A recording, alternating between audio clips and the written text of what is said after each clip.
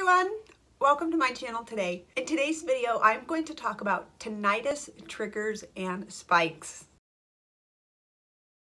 I'm working on a video about hearing fatigue and how people with hearing loss can help combat against hearing fatigue. I do this because I am hard of hearing myself and I deal with hearing fatigue frequently. I don't personally struggle with tinnitus, but I know there are hundreds of people that do, especially people on my channel. So for those that struggle with tinnitus, today's video is for you. If you haven't already, please like this video and subscribe to my channel. I look forward to making more excellent hearing loss related content for you. Tinnitus is a condition where individuals hear ringing in their ears. Only they can hear it, and it can be very debilitating. It seems that tinnitus strugglers feel very isolated and alone. This is normal when you're struggling with something that other people don't understand. Being hard of hearing, I have noticed that there are things that I can do to reduce my hearing fatigue. I did a little bit of research and found that there are things that people that struggle with tinnitus can do to hopefully reduce or minimize tinnitus spikes. The first thing that a tinnitus sufferer can do to avoid a tinnitus episode is to avoid excessive sound exposure. If you're going somewhere and you know that there are going to be loud sounds, such as if you're attending a football game and you know that there's going to be an air flight flyover, take some earbuds. Protect your hearing. This would be a simple task that could prevent a tinnitus episode. In addition to that, consider where you're going.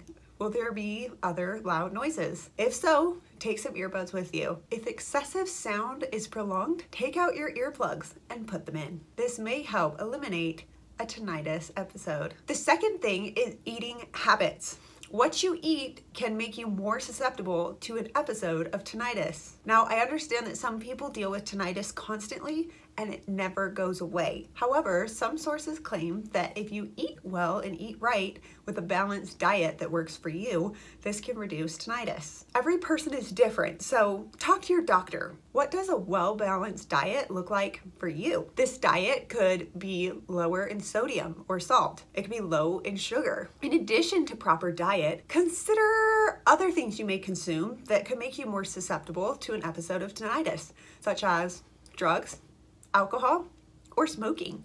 The next big item is sleep deprivation can cause or make someone more susceptible to tinnitus episodes. The body needs sleep to be able to recalibrate itself and reset for the next day. If someone has poor sleep, they're going to experience more tinnitus episodes most likely. And so be sure that you get a good night's sleep. Get eight to nine hours make sure you have a comfy bed and pillow. We sleep like a third of our lives, so be sure to be comfortable when you sleep. I will also add that if you are taking any medications, whether they are for sleep deprivation or other things, tinnitus can be a side effect of these medications. Be aware of that. One of the biggest triggers or spikes for tinnitus is certainly stress and anxiety. Stress just causes your whole body to just have that rhythm that's not quite right. You need to be able to feel relaxed enjoy life. If you've got something that you need to get done, get it done. But definitely, if you find yourself worrying about things in and out, consider some solutions.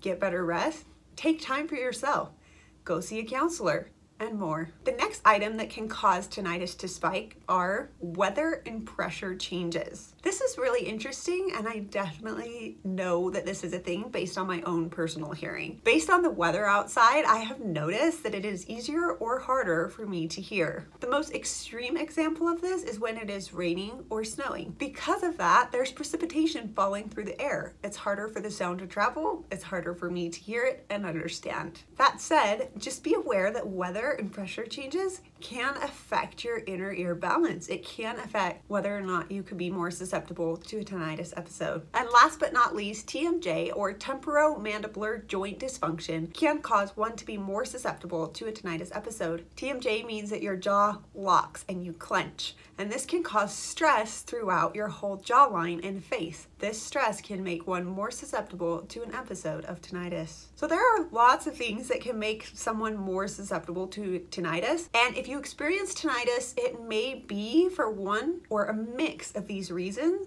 but it may just be that you're just struggling with tinnitus and that is hard. That is hard to deal with, but definitely I encourage you to pay attention to these things that I've listed in the video. Start paying attention to when you get tinnitus. See if there is a correlation. Ask yourself, did I sleep well last night if you start having a bad episode of tinnitus? Or if you start experiencing tinnitus, consider the weather.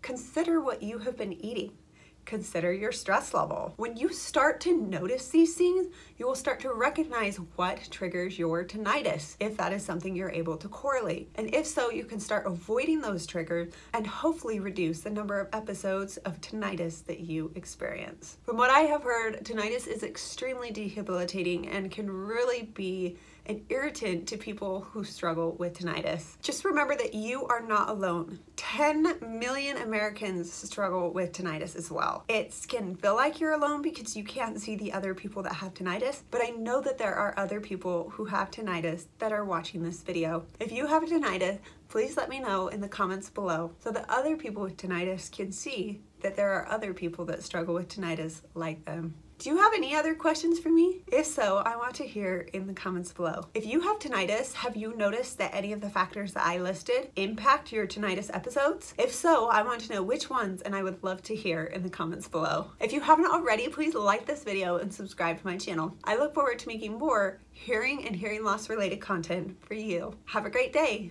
Stay strong. Stay amazing. Bye.